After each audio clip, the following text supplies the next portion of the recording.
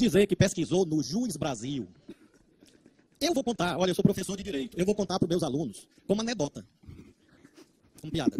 O senhor acaba de entrar no meu livro de memórias. O Juiz Brasil, deputado, quando bota o nome, quando bota o nome, não aparece o nome de quem responde ao processo.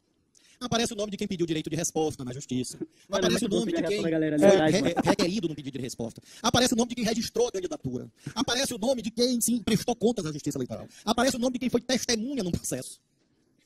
E, a estas alturas, deputado, dizer, com base no juiz Brasil, que eu respondo a 277 processos, se insere mais ou menos no mesmo continente mental de quem acha que a Terra é plana.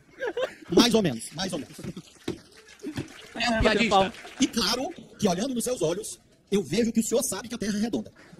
Então, deputado, assim como o senhor sabe que a Terra é redonda, nunca mais repita essa mentira, essa fake news dos 277. Deputado, eu tô